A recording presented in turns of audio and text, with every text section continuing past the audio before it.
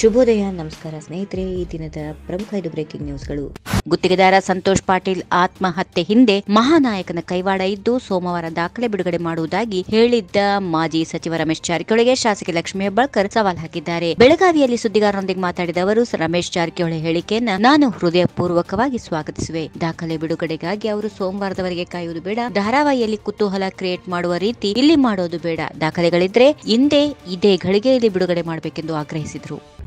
ಬಿಜೆಪಿಯಲ್ಲಿ ಒಂದು ಸಿಡಿ ತಯಾರು ಮಾಡುವ ಟೀಮ್ ಇದೆ ಎಂದು ಬಿಜೆಪಿ ಶಾಸಕ ಬಸನಗೌಡ ಪಾಟೀಲ್ ಯತ್ನಾಳ್ ಹೇಳಿದ್ರು. ಮಹಾನಾಯಕನ ಬಗ್ಗೆ ಮಾಜಿ ಸಚಿವ ರಮೇಶ್ ಜಾರಕಿಹೊಳಿ ಹೇಳಿದ್ದು ಸತ್ಯ ಇದೆ. ನಮ್ಮ ಬಿಜೆಪಿಯಲ್ಲಿ ಇರುವ ಓರ್ವ ಯುವ ನಾಯಕ ಹಾಗೂ ಕಾಂಗ್ರೆಸ್ನ ಮಹಾನಾಯಕ ಸೇರಿ ಈ ಕುತಂತ್ರ ಹೆಣೆದಿದ್ದಾರೆ ಎಂದು ಕಿಡಿಕಾರಿದ್ರು ಅಷ್ಟೇ ಅಲ್ಲದೆ ಬಿಜೆಪಿಯಲ್ಲೂ ಒಂದು ಟೀಮ್ ಇದೆ, ಕಾಂಗ್ರೆಸ್ನಲ್ಲೂ ಒಂದು ಟೀಮ್ ಇದೆ. ಮಹಾಕಳ್ಳ ನಮ್ಮಲ್ಲಿರುವ ಕಳ್ಳ ಸೇರಿ ಇಂಥ ಕೆಲಸ ಮಾಡುತ್ತಿದ್ದಾರೆ. ರಾಜ್ಯದಲ್ಲಿ ಎರಡು ಸಿಡಿ ಕಾರ್ಖಾನೆಗಳು ಇದ್ದಾವೆ. ಅವರಿಬ್ಬರು ಸೇರಿ ಇದನ್ನ ಮಾಡಿದ್ದಾರೆ ಎಂದು ವಾಗ್ದಾಳಿ ನಡೆಸಿದರು.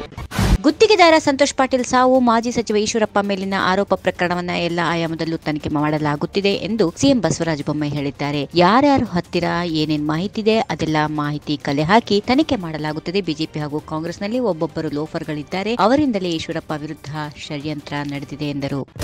ಸಂಪುಟ ಸರ್ಜರಿ ಮಾತು ಬೆನ್ನಲ್ಲೇ ಸಿಎಂ ಬಸವರಾಜ ಬೊಮ್ಮಾಯಿ ಅವರನ್ನ ಮಾಜಿ ಸಚಿವ ರಮೇಶ್ ಜಾರಕಿಹೊಳಿ ಭೇಟಿ ಮಾಡಿದ್ದಾರೆ. ಸಚಿವ ಮುರುಗೇಶ್ ನಿರಾಣಿ ಜೊತೆ ಕೂಡ ಭೇಟಿಯಾಗಿದ್ದಾರೆ. ಮತ್ತೆ ರಮೇಶ್ ಜಾರಕಿಹೊಳಿಗೆ ಮಂತ್ರಿ ಸ್ಥಾನದ ಮಾತು ಕೇಳಿ ಬರುತ್ತಾ ಇದ್ದು, ರಾಜ್ಯ ಸರ್ಕಾರದ ವಿರುದ್ಧ ನಲವತ್ತು ಪರ್ಸೆಂಟ್ ಕಮಿಷನ್ ಆರೋಪ ಮಾಡಿರುವ ಕಾಂಗ್ರೆಸ್ ವಿರುದ್ಧ ರಮೇಶ್ ಜಾರಕಿಹೊಳಿ ಮಹತ್ವದ ದಾಖಲೆ ಬಿಡುಗಡೆ ಮಾಡುವ ಬೆದರಿಕೆ ಹಾಕಿದ್ದಾರೆ. ಈ ಸಂಬಂಧ ಅವರು ಸಿಎಂ ಬೊಮ್ಮಾಯಿ ಜೊತೆ ಚರ್ಚೆ ನಡೆಸಿರಬಹುದು ಎಂದು ಕೂಡ ಹೇಳಲಾಗುತ್ತಿದೆ.